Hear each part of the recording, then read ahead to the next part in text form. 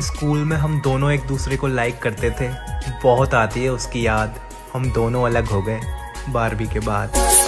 छूट गया होगी।